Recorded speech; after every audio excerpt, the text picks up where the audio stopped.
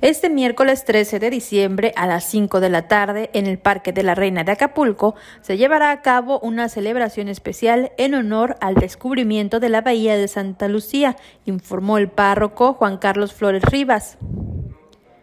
La bahía de Acapulco fue descubierta en un 13 de diciembre, lo que llevó a los exploradores católicos a nombrarla en honor a la festividad de Santa Lucía que, como nos narran las crónicas, tuvo lugar un día 13 de diciembre y según lo cual la costumbre de los católicos exploradores que llegaron a estas tierras le pusieron el nombre de la Santa que se celebraba en el, canto, en el santoral ese día, Santa Lucía.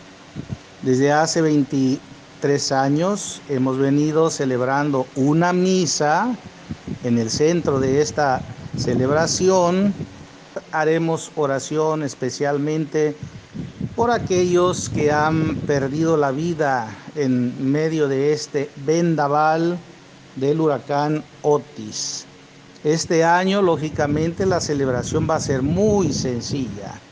Los floricultores de Villa Guerrero del Estado de México que año con año participan adornando con bellísimas flores a la Reina de los Mares, van a participar y también los motociclistas de distintos clubes que acostumbran pasear la réplica de la Reina de los Mares por toda la costera Miguel Alemán.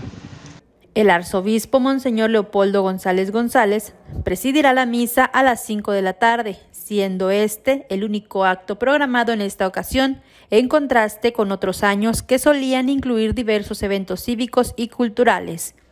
Informó para RTG Noticias Alejandra Fierro.